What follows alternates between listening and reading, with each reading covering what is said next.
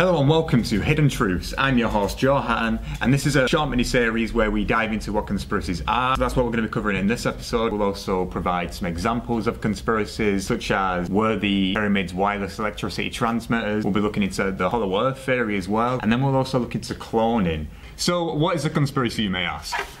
Conspiracy is a plan set up by a group or government with the intentions of doing something secret, unlawful, or harmful. Some examples of this are Bohemian Grove, which was unveiled by Alex Jones back in 2009. Um, there's obviously the Illuminati, which everybody knows about, and there's also 9 11, which is I think I think it's something like 51% of the US think that 9/11 was an inside job. So the first conspiracy we're going to be getting into today is the pyramids and were they actually made to house the tombs of the pharaohs? There's lots of theories circulating about like how it was built, how this mega structure could have been built when um, the ancient Egyptians didn't have the technology for this. Um, and one which stands out more than others is the conspiracy of the pyramid actually being a wireless electricity transmitter. It might sound crazy, but when we get into it, your mind might get blown.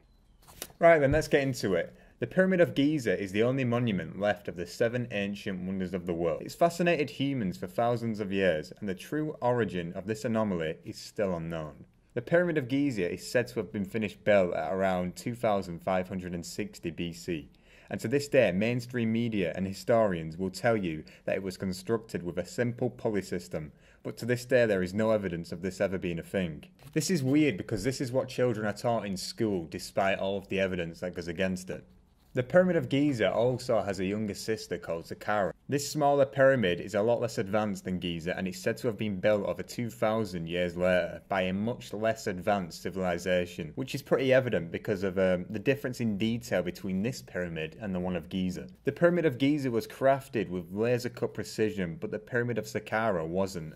This could possibly connote to the fact that a different, more advanced civilization constructed the pyramids of Giza way before the one of Saqqara. Why is this the case, you ask? Well, a global cataclysm is said to have occurred between 11 and 13,000 years ago, and this world changing event is said to have risen the sea levels by an estimated 400 feet and if you look at the Sphinx, you can actually see watermarks on the sides, which is, is just more evidence suggesting this theory. This world changing event would obviously lead the civilization which constructed the pyramids of Giza and ancient Egypt to have been wiped out, or it would have led them to maybe even leave for another planet. Mars is the most likely option out of all the planets in our solar system, as it's a very livable planet with an average temperature of 80 degrees Fahrenheit, but some of the deepest craters on the planet, such as the Hellas Impact Crater, can reach a much warmer temperature, which is thrivable for human beings. So, getting into the actual conspiracy that suggests the pyramid was an electric conductor.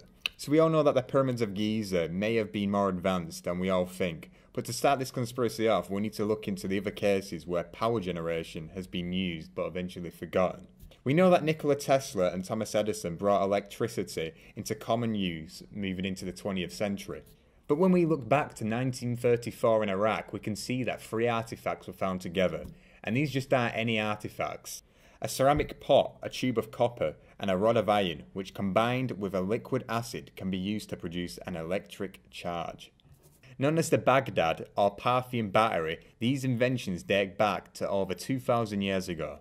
Ten years after their discovery, somebody using similar material and grape juice managed to produce the same reaction. This process has since been shown on the Discovery Channel on a famous TV show known as Mythbusters.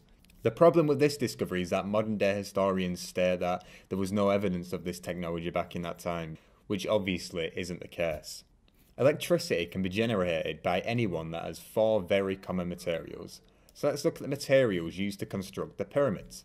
Firstly, the pyramids consist of narrow laser cut tunnels that lead deep underground to areas that still haven't been discovered. Why, you may ask, why are these tunnels like that? Because people clearly aren't supposed to go down there. What do you think the ancient Egyptians did? Crawl down there on their hands and knees? Absolutely not. Also, what tomb needs to have a shaft that's directed straight into the earth? Furthermore, the pyramid had a swivel door mechanism which was used to go in and out of the pyramid. It's also said that these doors were that well engineered that the 20 pound door could be opened with just the push of a hand. Pretty amazing how the Egyptians could do all of this if they weren't considered as an advanced civilization. Also, the Great Pyramids used to be covered in a bright white polished limestone material, which is known as a casting stone. These casting stones were positioned in a way that when the sun was at a certain height or angle, the pyramid would look completely smooth. This factor would have also been great for keeping the inner part of the pyramid completely insulated. But unfortunately, these casting stones are no longer there due to an earthquake in 1803 which caused the material to fall off the faces of the pyramids. Nowadays, the only remains of the pyramids are the inner stones, which are the main foundation of the whole structure. Also, real quick, why would the inner of the pyramid need to be so well insulated? This is something that's puzzled archaeologists for many years.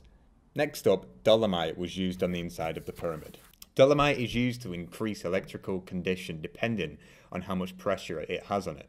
Also, in the deep passageways of the pyramid, granite has been used to construct the tunnels. Interesting. Granite contains a high amount of quartz crystal, which is a well known conductor of piezoelectricity. This electrical conduction occurs when there's stress applied to the material. This method is used in lots of different modern day devices, um, watches being one of them. Granite is also known to ionize the surrounding areas, which actually increase the conductivity of electricity. When electrons are given the chance to bypass sections of rock with the use of metal wire, large currents will be able to flow through the tunnels of the pyramid. Another material used to construct the pyramid was mortar, and half a million tons of it were used to create the Pyramid of Giza. Mortar is essentially like the cement that was used to construct the pyramid. This is the material that keeps the stones intact, and it's said that the material is actually stronger than the giant stones themselves, causing it to weigh more than them. Obviously, they use this material to keep the pyramids together for thousands of years, but could the material have been used for something else? All these materials I've just stated are used to produce electricity. Is this a coincidence? Maybe not. Also, northwest of the Great Pyramid is another anomaly known as the Serapeum. This remarkable location consists of 20 huge granite boxes which weigh over 100 tons each. Classic Egyptologists will say that these boxes are just coffins, but the granite here came from 500 miles away. Also, each box is so large that it wouldn't be possible for them to fit through the passageways leading in and out of the Serapeum. So how they got there is still unknown, and there's only speculation in, the air at the moment. Moreover, electrical engineers will say that a container serving as a battery has to be made entirely of the same material, so there's no interruption of electrical flow in the object. Is it possible that these boxes could have been batteries? Absolutely. There is a centuries old granite sarcophagus that has been put on display in an Egyptian museum, and it's thought that this is unfinished. Unlike the ones in the Serapeum, this one has a giant crack down the side of it. Maybe this supposed sarcophagus wasn't unfinished but abandoned because of the fact that the crack that's been there would have interrupted the electronic field, stopping it from achieving its intended use. Old fashioned archaeologists will say that these were made simply to store the corpses of bulls. Not just ordinary bulls, but the bulls of the pharaohs. I believe that these pharaohs would have been as puzzled as us about these objects, and I think they had nothing to do with the actual creation of them. Some people believe that the Serapeum is actually older than the pyramids, with some people believing that the Sumerians made these, which is an older and supposedly more smart civilization. To add to the mystery of the pyramids, a yet unexplored room was discovered in 1993. The room is said to have been deliberately hidden, and it's known as the Queen's Chamber. There's nowhere for people to get down there, so archaeologists use their remote control camera to find out what's in there. The typical person would probably expect to find a mummy down there of some sort, but people discovered the complete opposite. The room consisted of carefully placed copper wires, and there was also ancient writing on the wall next to it, which is said to be a set of instructions. When you look at the common battery, you can see that they consist of copper to create a chemical reaction known as potential difference. If you run an electric current through copper wire, the copper will produce a short range magnetic field. Add a second copper coil, and the electricity will transfer from one wire to the other.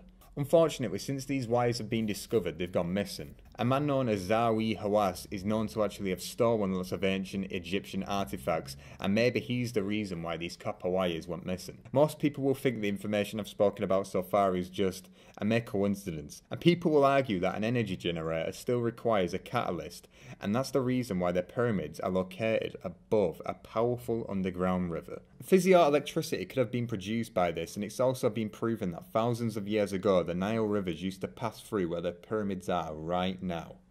Right, so now let's get into the Hollow Earth conspiracy.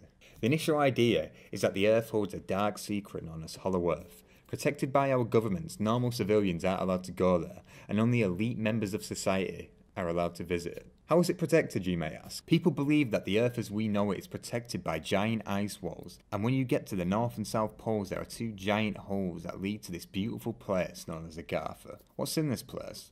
There are theories that state that aliens are living in the centre, and they're currently monitoring us right now. Some people also believe that the Nazis found this place during World War II after getting in contact with a being who reported they came from this place. One interesting story dates all the way back to the 19th of February 1947, when an American explorer known as Richard Byrd of the US Navy flew to the South Pole. When he came back, he jotted down his findings in a journal, and what was found has conspiracy theorists around the world pulling their hair out. Apparently, the information within this journal held proof of the centre of the Earth. Skeptics of the Hollow Earth theory claim that Richard Byrd's notes have been misinterpreted, and experts say you can read through the notes and find a much more mundane explanation. A quote of what he apparently said is, The land beyond the South Pole is a secret place of wonder. What he's meant to have said is, I'd like to see that land beyond the pole. That area beyond the pole is the centre of the unknown. This was enough to trigger the thought in some people's minds of the Earth possibly being hollow. There are lots of other weird stories like this about of people flying into the centre and coming back out, people in boats in the in Antarctica going in there and coming back out and telling the stories to people, you know, back home. Um, scientists are completely against this theory, but who's to say that their opinions are better than anyone else's? Even governments are fueling this conspiracy with secret visits to the middle of the poles. Also, the ISS satellite in space seems to have taken some questionable photos of the planet in the past, and it does look like something fishy is going on in the Arctic. Only time will really tell what's going on beneath our feet. So next we'll get into human cloning. Human cloning is a much more recent conspiracy. This is the thought of people having identical body doubles, which have either been genetically engineered, they just look like them, or they've had surgery to look like, you know, a particular person. This conspiracy mainly relates to celebrities and politicians, as they lead very busy lives and don't want to have to deal with all of the fans and you know the fame and you know the paparazzi, the media, the, the press, etc., etc. Avril Lavigne is a great example of this, as she's reportedly been dead since 2003. Apparently, she killed herself due to depression caused by all of the fame. According to this theory, Avril Lavigne apparently never died, and it's said that she's been using a body double this whole time named Melissa to distract the paparazzi from her. As crazy as this sounds, there's actually evidence to prove why people think why this new Avril is actually a clone. Firstly, there have been many hints left in her music post 2003, which is when she apparently killed herself, which talk about her not being who she actually is. Also, people have been pointing out the difference between pre 2003 Avril and the new one apparently called Melissa. This is because of the difference in their facial structure and because of the difference in their personalities. For example, people are saying that their noses are different, um, her cheeks are different, and people have gone as far to say that the dimples on the cheeks when they smile are actually a lot different. Furthermore, Avril never used to smile with her teeth, but now all of a sudden she does. Some people have come up with explanations for this by saying that Avril has just moved out of her emo phase and become a different person in terms of her spirituality and how she acts and what she believes in, you know, you know, how she lives her life. But who knows? To get deeper into this story, the new Avril actually has a tattoo on her which says, you guessed it, Melissa. Another weird point is the fact that she hasn't been making essentially any music recently. Um, her last album was made in 2003. This isn't due to any of the stated conspiracies, but it's because she's been suffering from Lyme disease, apparently. We'll never know if she has been cloned or not, but recently she's released another album called Head Above Water. Maybe there's some hidden messages within it. Who knows?